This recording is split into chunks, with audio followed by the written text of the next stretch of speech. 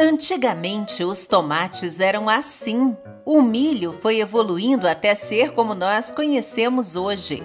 A banana era cheia de caroço, a berinjela era bem diferente e as laranjas nem existiam. Olá, amigos da história! O canal se inspirou numa publicação do Twitter de um professor de história, Denis Almeida, do Colégio Assunção de São Paulo, para falar de como vários alimentos foram modificados com o passar do tempo até chegar ao que conhecemos hoje saborosos e nutritivos adaptados ao paladar humano. E essa informação é importante porque não é incomum a gente acreditar que as frutas, os legumes, verduras sempre foram assim. Mas a verdade é que alguns desses alimentos nem mesmo existiam na natureza, foram inventados pelo homem.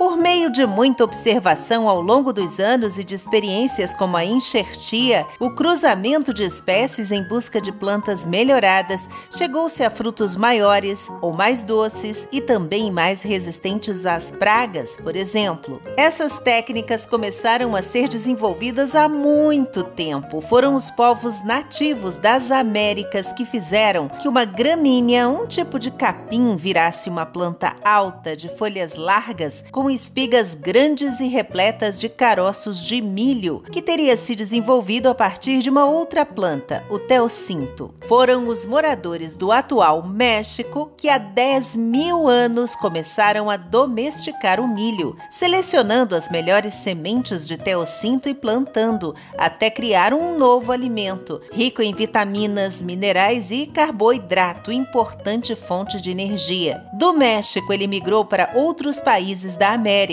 e depois foi levado para o resto do mundo pelos conquistadores europeus. Mesma coisa do tomate, que é originário dos Andes, na América do Sul, onde ficam o Peru, uma parte do Chile e Equador. Ele só foi chegar à Europa no século XVI e era bem menor, não era doce como hoje, era predominantemente amarelo. Por isso foi batizado pelos italianos de pomodoro, que quer dizer maçã dourada, maçã de ouro. No começo, eles nem eram comidos pelos europeus e sim usados como decoração nas mesas de banquetes. Nos Estados Unidos, então, o tomate era visto como venenoso que podia matar quem comesse. Isso foi mudando aos poucos. O fruto foi sendo modificado para se tornar maior, menos ácido e vermelhinho, rico em licopeno. Hoje são ingredientes de saladas, molhos, doces, sucos e até drinks. O tomate era cultivado pelos indígenas e foi disseminado pelos incas, maias e astecas e está numa lista grande de alimentos levados para o Velho Mundo no período das grandes navegações, junto com o feijão, a batata, o abacate e o cacau. Mas se nada disso era conhecido na Europa até então, o que que eles, esse povo, os europeus, comiam por lá até essa época? Os amigos da história já sabem que o canal fez um vídeo sobre isso. E se você não sabe, basta clicar no link aí em cima para conferir. Continuando a falar sobre a evolução dos alimentos, o que vimos até agora é mais ou menos o que aconteceu com uma série de outras plantas de cultura milenar que foram sendo modificadas pela seleção das melhores variedades variedades e de maior rendimento também. As uvas silvestres, por exemplo, eram pequenininhas e os cachos não eram tão cheios como conhecemos hoje.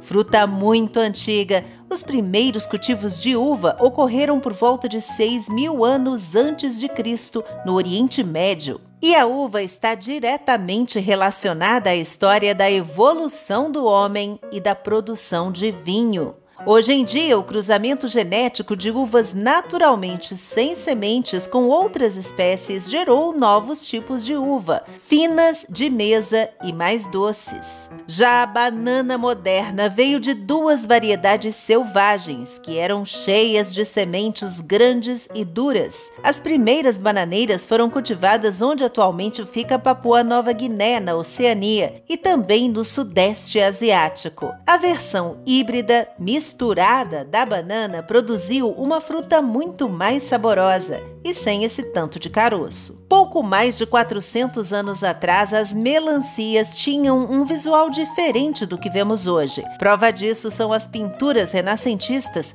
que mostram uma fruta bem menor e mais branca por dentro. Natural da África, a melancia foi sendo modificada até ganhar esse pigmento vermelho predominante, com muitas propriedades antioxidantes. Depois de milhares de anos de cultura seletiva, os pêssegos agora são bem maiores, mais suculentos e maçudos e mais doces do que o período em que foram domesticados pela primeira vez pelos antigos chineses e tinham um gosto meio terroso e ligeiramente salgado, como uma lentilha. Foi na Ásia Central que teve origem a cenoura. No início, essas raízes eram fininhas e pouco desenvolvidas.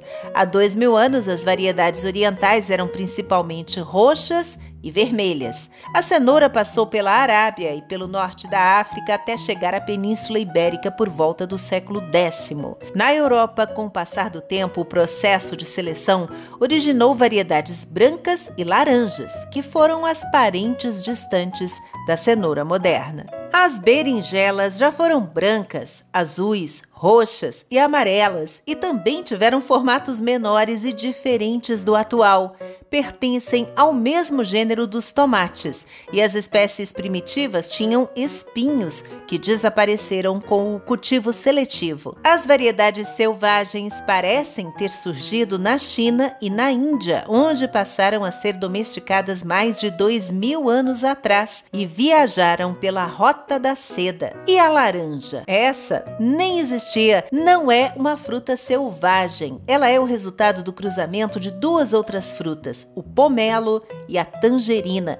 E igual a todas as frutas cítricas, é originária das regiões tropicais e subtropicais da Ásia. Fósseis encontrados nessas regiões apontam que um fruto só deu origem a diferentes espécies de cítricos. A laranja azeda já era conhecida por suas propriedades há muito tempo e era usada pelos herbalistas como um remédio, mas bem menos como um alimento. Também foi usada como planta ornamental em pátios e jardins. Foi só na segunda metade do século XIX que aumentaram o cultivo e a comercialização de diferentes variedades de laranjas, de cítricos, que se espalharam pelo mundo sofrendo mutações e originando então novas variedades.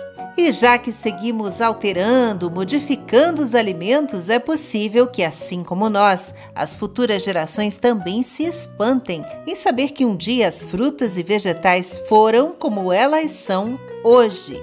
E é isso, se o mundo te oferecer amargos limões, faça uma limonada, deixe seu like, compartilhe, comente, se inscreva e até a próxima com uma história a mais.